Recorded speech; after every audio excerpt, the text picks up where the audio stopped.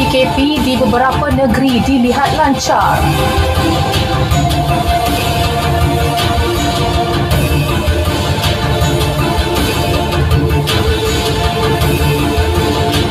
Bayaran BPN 2.0 fasa kedua dibuat mulai 21 Januari.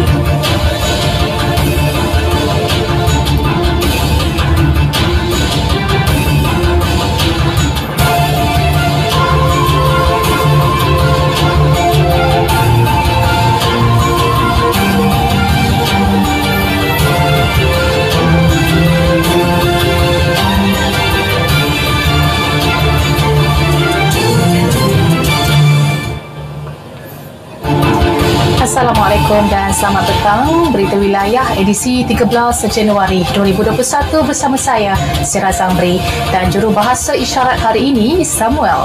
Seperti biasa kami akan terus membawa kepada anda kemas kini berita seluruh negara.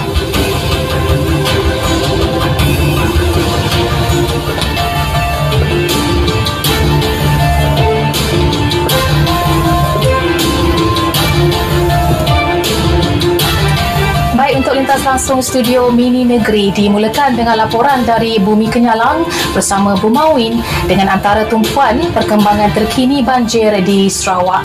Seterusnya seperti biasa ke negeri di bawah bayu bersama Jovinia Jim Lajim dengan tumpuannya melaksanakan 53 sekatan jalan raya dan 10 sekatan jalan Ops Benteng di Sabah sejak malam tadi berikutan penguatkuasaan PKP.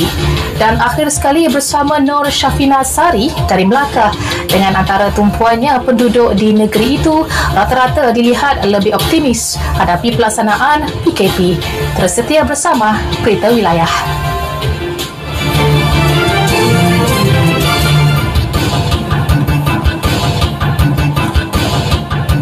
Baik saudara, berita wilayah berakhir di sini sentiasa mengimbas aplikasi MySejahtera di lokasi yang anda tujui. Sama-sama kita cegah penularan COVID-19 kerana kita masih belum menang. Saya Zara Zamri, itu Assalamualaikum dan jumpa lagi.